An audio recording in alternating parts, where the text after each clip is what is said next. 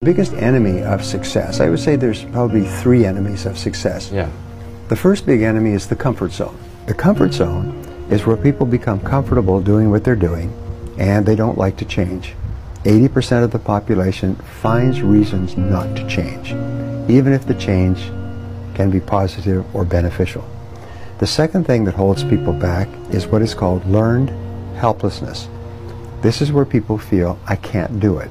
And the third enemy is what we call the path of least resistance, which is always looking for an easy way to achieve a result.